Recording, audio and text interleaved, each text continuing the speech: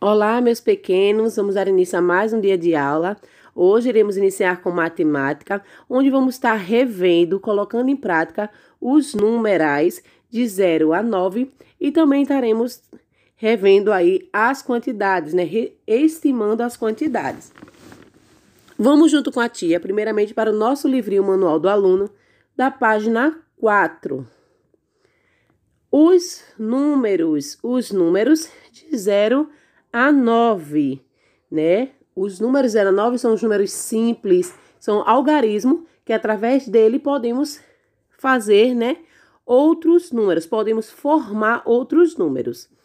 As crianças estavam muito animadas com o início das aulas. Assim que todos os alunos chegaram à sala de aula, a professora Cláudia levou-os para participar de uma brincadeira no pátio.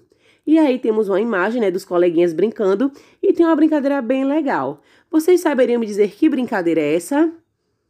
E aí? Amarelinha, isso mesmo, é amarelinha. E a primeira questão, ela já pergunta, já pede uma coisa a vocês, para que vocês observem a imagem dos alunos brincando de amarelinha. E aí ele faz uma pergunta: Você conhece os números desenhados? E aí, vocês conhecem os números que estão na amarelinha? Esses números também são chamados de algarismo, pois são usados para formar outros números.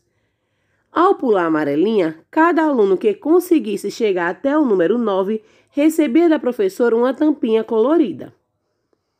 Segundo, observe a quantidade de tampinhas que cada aluno recebeu.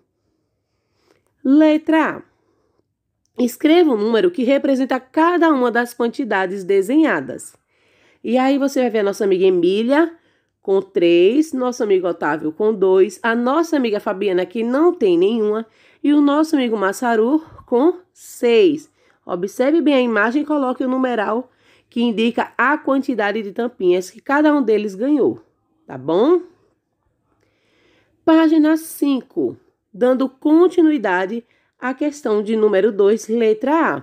Temos aí a nossa amiguinha Marina com 5, o nosso amigo Urbano com 9, o nosso amigo Ita com 1, a nossa amiga Anita com 7, a nossa amiga Dulce com 4 e o nosso amiguinho Danilo com 8.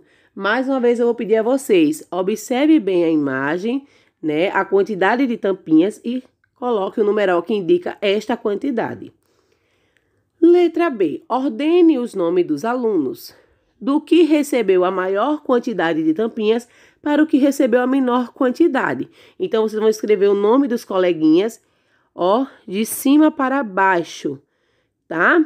Da esquerda para a direita. Vocês vão escrever de acordo com quem recebeu mais até quem recebeu menos, ou seja, do maior para o menor, decrescente. Combinado? Letra C. Agora escreva na reta numérica a seguir os números que representam as quantidades de tampinhas que cada aluno ganhou. E aí eu tenho Fabiana, Ita, Otávio, Emília, Dulce, Marina, Massaru, Anita, Danilo e Urbano. E aí você vai colocar a quantidade de tampinhas que cada um deles recebeu. Combinado assim? Terminada a nossa atividade de matemática do nosso livrinho manual do aluno, vamos para as nossas atividades em folha, onde vamos estar mais uma vez observando e registrando, tá? Então vamos lá. Registre nas respectivas etiquetas a quantidade de animais que aparece na cena abaixo.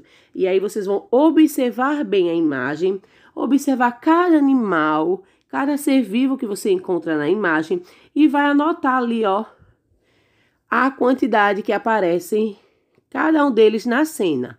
Eu tenho ali a vaquinha. Quantas vaquinhas aparecem na cena? E aí na bolinha você vai colocar essa quantidade, o número que representa esta quantidade. E os patinhos?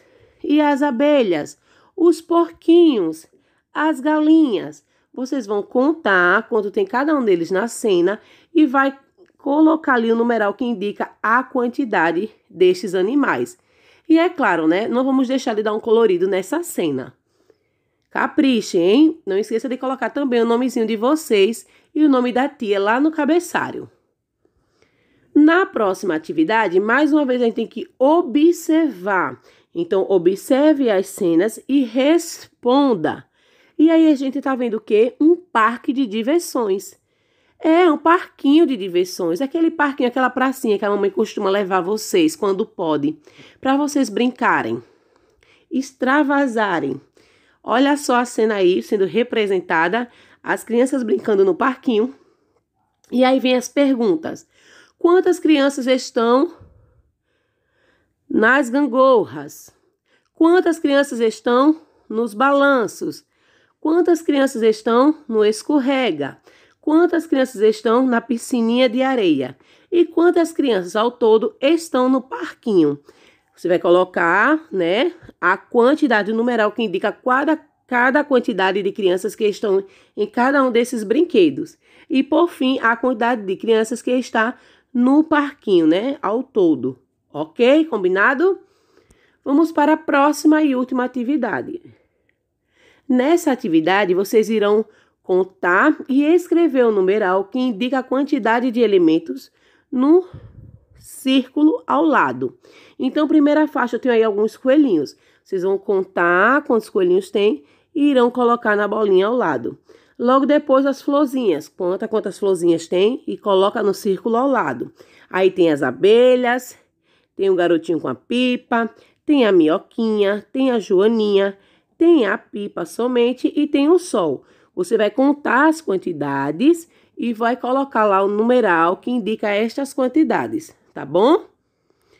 Ok? E não esquece mais uma vez de colocar o nome de vocês e o nome da tia na folha, tá certo? Meus amores, por hoje é só. Espero que vocês tenham entendido e que vocês arrasem, caprichem na atividade de vocês, tá bom? Beijinhos no coração, fiquem com Deus e até a próxima aula.